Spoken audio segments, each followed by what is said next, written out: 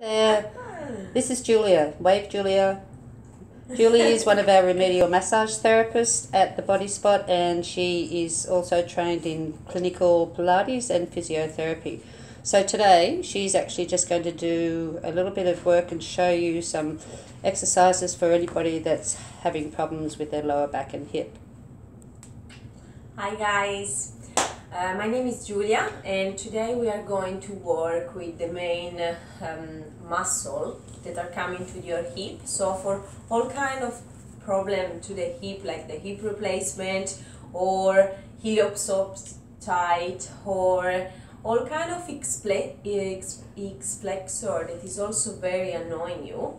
Um, with this exercise we're going to really grow this muscle around the acetabular and we're going really to improve our tightness in our glutes. So, so Um, strength she means there. So she's going to work the muscle and improve the strength.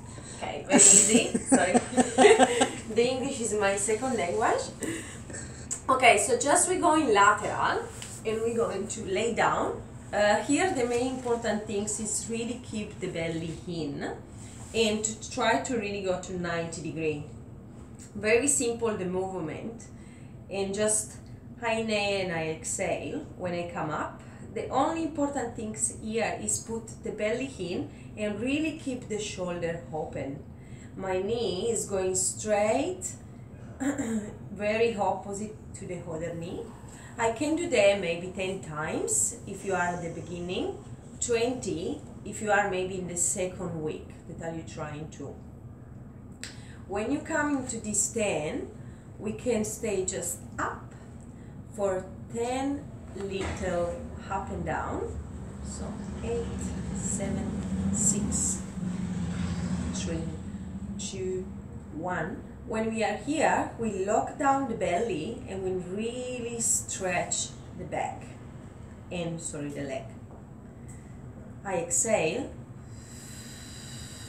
I put my belly in and I really keep my hip completely mobilized. Lucky you got clean socks on. Same. Yeah. Not really? I said lucky your socks are clean. Well, they're not really. Yeah. Barefoot always. Are actually Hester socks. okay. So I nail here, I exhale, and I really, really feel the stretch.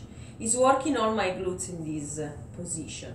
When I finish 10 of this strength and stretch with the leg in this position, I just point the toe down and I just do 10 little up and down here.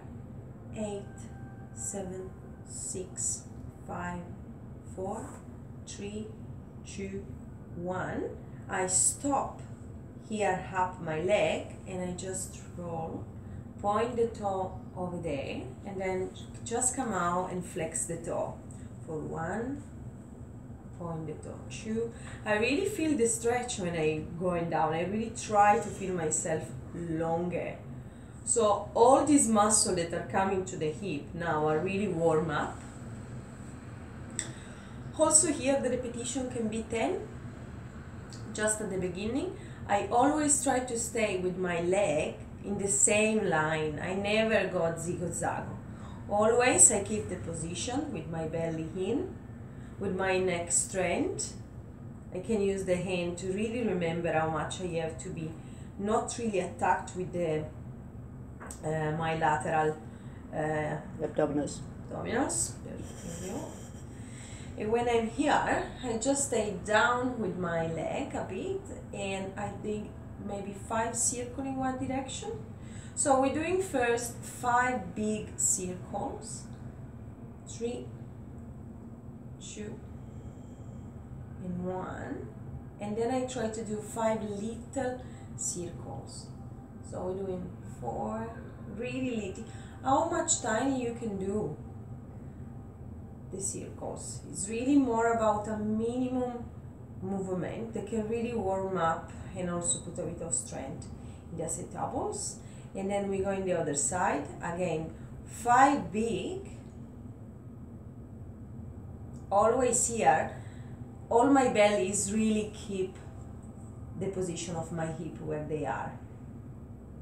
and then I'm doing again five little little micro circles three two one. Then we can really just put down our leg and doing maybe just the last one in which I really open and close my hip. I open up and I close it. It's very difficult for some for some people. So we really need to close the belly to bring up and go down. Up also here as you feel? But you should do minimum 10 just really to warm up because we are using another um, uh, muscle here.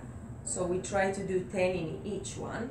You can't imagine how many positions there are to really warm up and help uh, your hip replacement or um, your lower back pain because this is a very very good exercise also for that. When you finish this 10 you just stretch close and close again. Open stretch close and close again. So we have a opening keep the belly in really stretch the leg coming down and then close again another couple here. We try to do minimum six if you can. It's very challenging here especially in the position the back of your bum. Okay the last one. Really remember here to stretch down and I control everything in my position. And now you just have to repeat everything in the other side so I hope that you enjoy. Try to do that maybe every day because it's very quick. And see how you feel and how you see also your hip and your um, posture to change. Okay, thank you very much, Giulia. Um, I promise we're all going to try that